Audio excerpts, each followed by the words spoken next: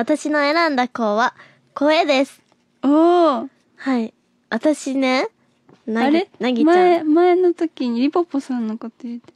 小谷里穂に。あ、あ 言ってたな。先週の、先週の先週のてっぺんラジオでリポポのこと話すわって聞いてくれたんや。聞いた。ありがとう。でも、話さへん。でも話さへん。言っとこう。言っとく？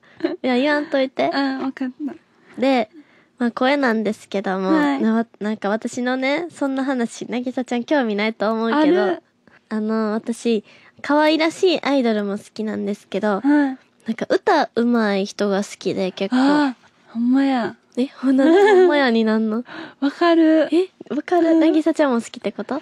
き。あさやかさんの声とか。ああ。もう、ずっと聞いときたい。へえ。で、まあ、私も声、声が結構好きで、うんなんか歌うまい人も好きやねんけど、その中でも、その中で声の特徴がある人が好きやねん。へえ。だから、例えば、代表的な人で言うと、柏木由紀さんの歌、歌とか、リカちゃんの、あんまり聞いたことないかもしれんけど。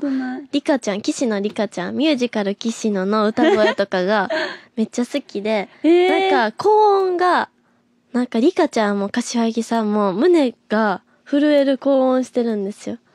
高音を出した時に、私の心臓が揺れるんですよ、え毎回。ちょっとき、うん、揺れへん。揺れへんわ。揺れへんか。仕え、方ない。うん。だからう、ん。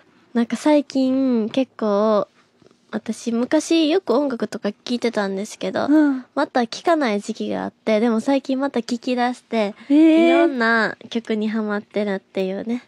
歌聴くのが好き。ミルキーー。さんの声もなんか特徴。そうやねん。そうやねん。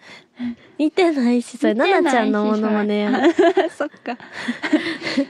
ななちゃん、こちら、山田ななちゃん。なぎちゃん、まに、ちゃんとして。似てる。というわけで、ナナちゃんの声にはそんなに憧れ持ってない。ええ？言っとこう。え、じゃあ、なぎ、なぎちゃんじゃあナナちゃんの声好きやなんやったら、交換しいや。うん。困ってるやん。というわけで、私の声についてのトークはここまで